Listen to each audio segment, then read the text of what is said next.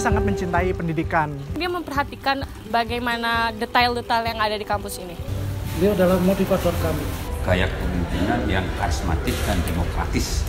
Lima punya wawasan yang luas. Nah, sementara pilihan saya sama beliau itu pas. Dia sangat disiplin dalam segala hal, termasuk disiplin waktu. Dia orangnya sangat supel. Supel dalam pergaulan dan juga supel dalam segala hal. He is very okay so far. Belum ada sosok yang bisa menggantikan Pak Suryana uh, di dalam memimpin institusi ini.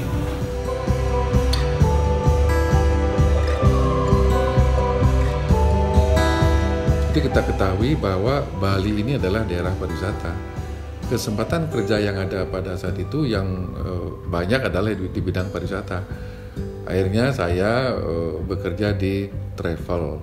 Pada tahun 80 uh, baru ada pembukaan di perguruan tinggi di Udayana ekstensi di Fakultas Ekonomi sore. Nah inilah kesempatan yang saya cita-citakan dari dulu uh, untuk melanjutkan pendidikan. Nah sekarang saya uh, mengemban tugas di tiga tempat. Pagi saya harus bekerja di Nusa Dua, sore saya harus kuliah di Udayana, malam saya harus bekerja di restoran di Sanur. Ya.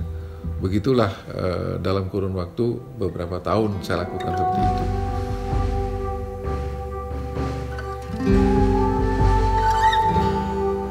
2010 tugas saya selesai pada bulan April. Kemudian setelah selesai malah saya diminta oleh teman-teman di sini di yayasan untuk memimpin lembaga ini STPB ini gitu. Jadi mulai tahun bulan Juni tahun 2010 saya menjadi ketua STPBI atau Sekolah Tinggi Pariwisata Bali Internasional. sering orang tua mahasiswa bertanya bahwa di Bali ini kan sudah jenuh, hotel sudah jenuh, restoran sudah jenuh, di mana nanti anak-anak didik kita itu akan ditempatkan gitu. Saya katakan bahwa pariwisata itu bukan saja Bali, bukan saja Indonesia, tapi pariwisata itu adalah dunia. Jadi anak-anak yang berkecimpung di dalam pendidikan pariwisata itu, itu kesempatan kerjanya lah seluruh dunia. Dan saya sendiri pun tidak saja menyuruh orang untuk sekolah, saya pun harus sekolah. Makanya sekarang saya masih sebagai mahasiswa S3 di Udayana. Masih proses saya ini, belum tamat saya S3-nya gitu.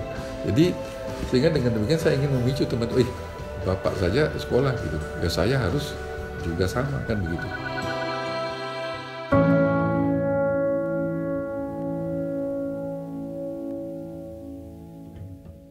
Saya memang eh, sebagai salah seorang anak desa dari kampungnya anak petani ya jadi orang tua saya dua-duanya adalah ibu rumah tangga bapak adalah petani gitu ya eh, cuman syukurnya bapak dan ibu saya itu punya semangat yang luar biasa saya berkeluarga eh, malu sebetulnya menyampaikannya pada saat ini saya saudara saya 12 orang termasuk saya gitu jadi eh, tidak kebayang dulu ibu dan bapak saya itu bagaimana menghidupi anak yang 12 orang ini. Itulah sebabnya eh, saya waktu kuliah Surabaya terputus karena tidak ada biaya gitu. Akhirnya saya mencari eh, sekolah yang dibiayai kata dinas gitu. Emang dari kecil waktu sejak SD ya seperti anak desa yang lain saya kira juga sama. Kita ada tugas-tugas khusus gitu ya. Jadi harus uh, apa di desa itu kan ada yang pelihara sapi, pelihara itik, pelihara ayam, ada yang ngarit apa segala, kerja ke sawah itu sudah terbiasa kita lakukan gitu ya. Jadi sejak SD.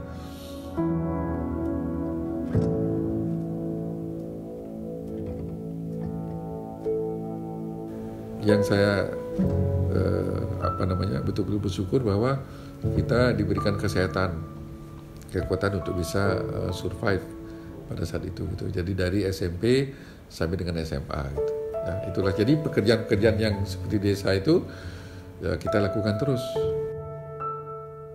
Orang itu ibarat burung ya. Ya, kita betapapun hebatnya, betapapun pintarnya kita,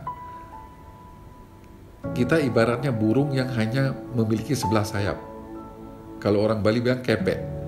Kalau burung kepek dia nggak bisa terbang, ya. Dia masih perlu atau dia membutuhkan sayap-sayap orang lain untuk bisa terbang bersama-sama, bukan sendiri, bersama-sama gitu. Sebelum kita mengajari orang lain, ajarilah diri sendiri dulu.